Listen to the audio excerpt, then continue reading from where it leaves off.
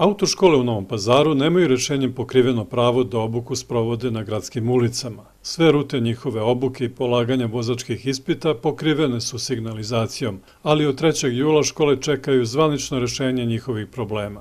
Po zahtevu gradske saobraćene službe, trase obuke treba da obiđe komisija uprave saobraćene policije i izda rešenje.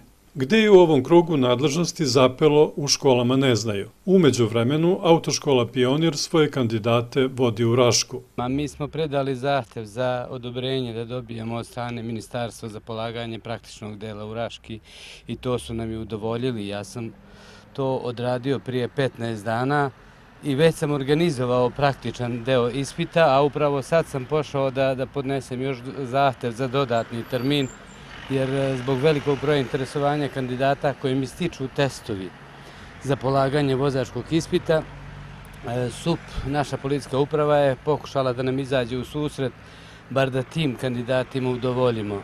Za utvrđivanje uslova polaganja u Raške autoškole plaćaju i dodatnih 82.000 dinara republičke takse, što nije malo. Pored pionira, zahtev za polaganje u traži i autoškola Starter. Kako u školama gledaju na uzroke ovih problema?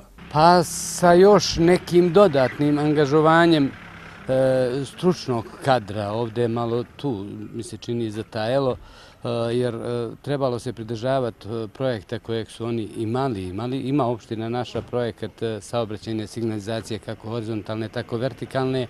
E sad e, tim ljudi koji je radio na to, tim poslovima, da li je ostupio od, od tog projekta ili nije, sigurno da jeste, s obzirom da nije prihvaćeno ono što je odrađeno. Ostaje nada da pre zime grad dođe do neophodnog rešenja kojim se odobrava obuka i polaganje vozačkih ispita na ulicama kako bi škole mogle da nastave rad.